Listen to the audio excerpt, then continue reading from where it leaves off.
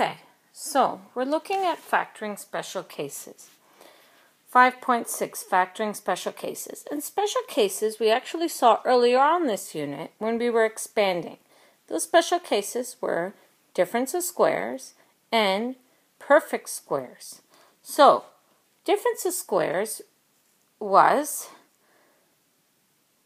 what? What did it look like when we had originally a difference of squares? So here was the answer. Do you remember what the question looked like?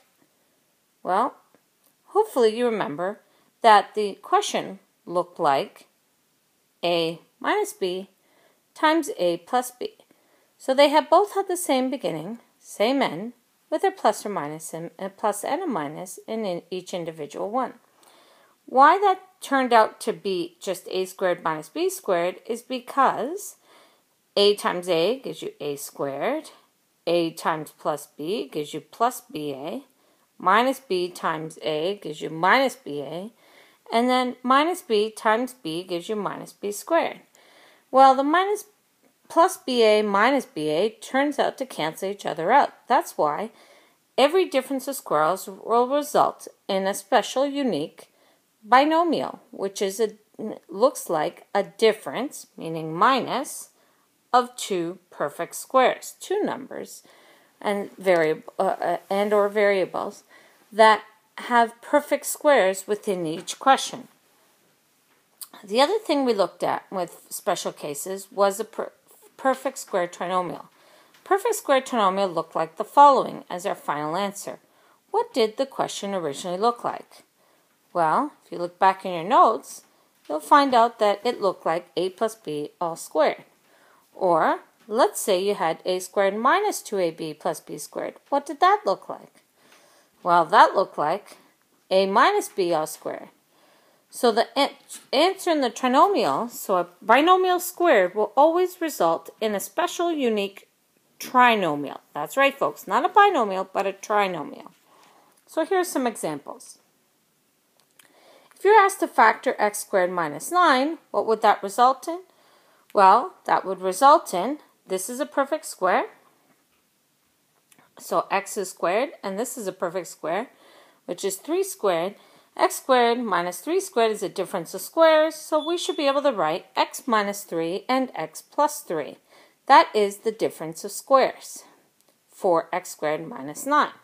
Now, perfect square trinomial, x squared plus 6x plus 9 will result in a perfect square trinomial of x plus 3 all squared. Because remember how we expanded it? It was x squared, x uh, multiply everything to c, and the last term squared. So that's how we get x squared plus 6x plus 9. All right. Now, it is not necessary to be able to recognize a perfect square trinomial. You could easily factor this the way you know how using the product sum rules, and then do your final answer in the proper form if you needed to. Alright, so let's look at some examples that go with this. Example number one, you're asked to factor the following, x squared minus 4. So on this particular page, we're going to look at just the difference of squares. So all of these, I'm going to give you the hint, involves difference of squares. Now knowing this, we look at the first one and say, oh, I know how to do that. It should be, and it will be, x minus 2 and x plus 2. What about the next one? Well, something is weird about the next one. None, uh, neither the first half nor the second half are perfect squares. So we need to have a perfect square. What can we common factor out of here?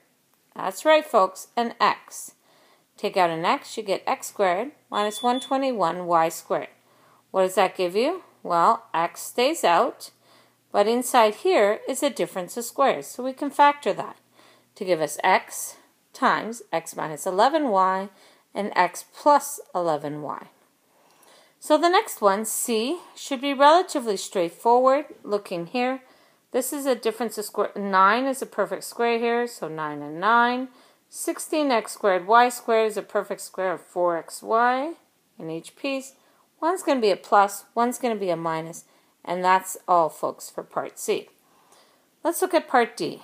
Common factor, because neither of those especially are perfect squares. And even if they were, don't forget, you must common factor first. There's a reason. So you take out the 5, you're left at 25 minus 9y squared. What does that result in? That's right, a difference of squares inside those brackets. So you get 5 times 5 minus 3y times 5 plus 3y. All right, last one. 3x squared plus 27. Let's common factor the 3 out. We're left with x squared plus 9. Now some of you may be going, hmm, I know, it should be x plus 3 and x plus 3. Wrong, folks. That's not correct. Someone else might be saying, no, it's got to be x minus 3 because we're trying to uh, get rid of things. Well, folks, nope, it's not it either. I want you to note something really important. You're taking out the 3 out of each of these terms, left with x squared plus 9 we do not have a rule for sum of squares. We only have a rule for difference of squares. So this is a difference of squares. All right, folks, let's moving on forwards. Okay, we saw E, and now we're going to go to F. x squared plus 12x plus 36.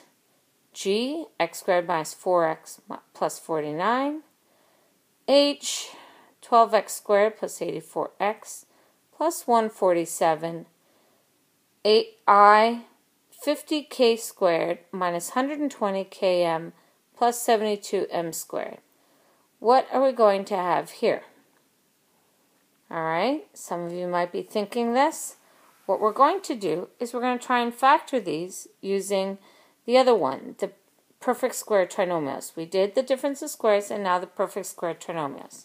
So the first one, what two numbers multiply to give you 36 and add to give you 12? Or you use the special type of factoring that I taught you with difference, sorry, with perfect square trinomials. So what's it going to be? It will be x plus 6 all squared. Because this is a perfect square, this is a perfect square, and the number that's perfect square for both of those is 1 here and uh, 36 here. 1 times 36 is 36. That's our product. Our sum is 12. What are the numbers? 9 and 4 uh, 9 and 4 make 12, but that's not what we want. Well, 6 and 6 make 12. So that's what we have here. So if we had originally done the question again, we would have done product sum rule, x plus 6 times x plus 6, and that's how it got us x plus 6 all squared. But you can just do the blue step, folks, and get the full marks. x squared minus 14x plus 49. Factor again, using difference of squares. You'll have x minus 7. All squared is our final answer. Next one, 12x squared plus 84x plus 147. What we need to do with that one is common factor. What are we common factoring? 4x, uh, 3 out of each piece, so you get 4x squared plus 28x plus 49. And guess what, folks? This is the final answer down here. But you can look at the possibilities of how to get these questions. If you understand one method more, you're more than welcome to use it. The idea is eventually you're even going to factor faster than what I'm factoring here. All right, I. Let's look at the value for I. Okay, we're just finishing this off. H will be the following, and that's how we got the final answer. Let's look at I. I says common factor first. That's what we did here. Common factored, we find out the product. The product is 900. The sum is negative 60. How do we get that? Well, we're going to, to first get our product and sum, which is positive 900 and sum is negative 60. Find two numbers, multiply give you negative 60 and add to give you, uh, sorry, multiply to give you 900 and add to give you negative 60.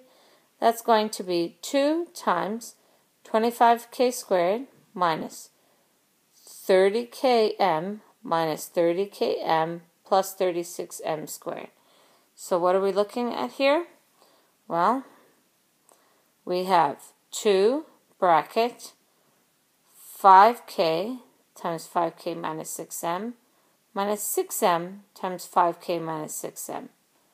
And the final result will be 2 times 5 times k minus bm times 5k minus bm. Why is that the case? Well, the rule is is that we have to get this as our final answer. How we get there, as long as it's following a logical mathematical processing step, you will get full marks, regardless of what they say on the other side of the You'll get full marks. All right, now let's continue an example. Example number two. Find an algebraic expression for the area of the shaded region. Part B. Write the area of expression in factored form. All right, and here are our numbers inside there. And we need to find the first information, algebraic expression to find the area of the shaded region. Well, to do that, we know that it's a square. Okay, so it will be a square given the unit values. And we're to uh, take 3x plus 8 all squared. And the reason we're doing that is that will give you the area of the purple, the outside of the purple, minus x minus 2 all squared. And what we're going to do is expand and collect like terms here, folks. And we get 9x squared plus 48x plus 64, x squared minus 4x plus 4. We're going to collect like terms, and we get 9x squared plus 48x plus, sorry, plus 52x plus 60. This is our solution to this. This is our area. Now, next step is to actually complete part B. Part B says, okay, now that we've done all this, this is an area expression. Part B, what we're going to do is the following. All right, now, how can we factor this? The way I had you learn this in class was to treat this first piece, which is not similar to the second piece inside the brackets, as yellow. And then we have a minus, and then this step is the red. Red. So yellow squared minus red squared has to equal a number, and that will be our, uh, sorry, that number is very, very important, okay? All right, folks, here we go. So, yellow squared minus red squared is the same as yellow minus red times yellow plus red. And we do that, we plug in the values. All right, and we get an answer inside the brackets. We get simplified expression of 2x plus 10, and the final one, 4x plus 6. All right. One more video, folks. Now, important to note here, we can common factor out of both of these pieces, and that's why we pull it out here. Here is a strong recommendation. Never, never, never factor until you've had someone look for the common factors. Very important. Okay, so these are questions that were done in class that were asked to complete. 7a on page 246 and 7c on uh, page 246. Numbers 15x squared minus 2x minus 8. All right, what we need to do here is we need to learn how to factor the old-fashioned way. The idea is we don't use a calculator. And what you have to do is be able to factor this. That means 4x squared has to be broken up into here and here. Whether it's x and 4x, x in uh, uh, ridiculous, uh, like really high for uh, air conditioner, which isn't a problem. Uh, but what we're doing here is trying to find the values that we're looking for. 4x squared is going to be 4x here and x over here. 5 is going to have a 5 here and a 1 over here.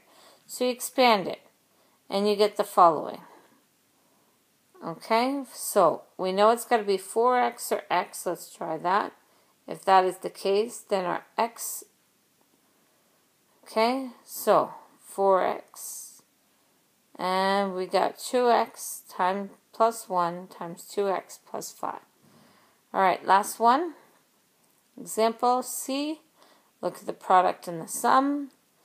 The C is, well, it's going to be negative 120, and the product, sorry, one more time.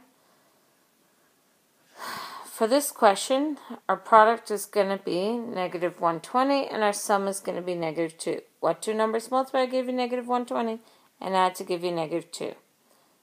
And let's look at possibilities here, folks. One second. Okay, so we have our product of negative 20. Let's recap again. Product of negative 20, sum of negative 2. How do we find the values? Well, we know it has to have what two numbers multiply to give you negative 120 and add to give you negative 2 is negative 12 and positive 10. So we need to make negative 12 with the factors that give us 15 and 8 again, we need negative 12 and positive 10. So let's find 10 first. 10 will be the following 5x times 2. That will give us our 10. And our negative 12 that we were talking about is the outside. That gives us negative 12x. Negative 12x plus 10x is going to give us negative 2x. Again, one more time, when we look at expressions like this in factored form, you find out that you can break up 15 into two pieces and negative 8 into two pieces such that the product and sum rule work. But this requires less writing. So it's up to you, but this is another way to be able to complete this question.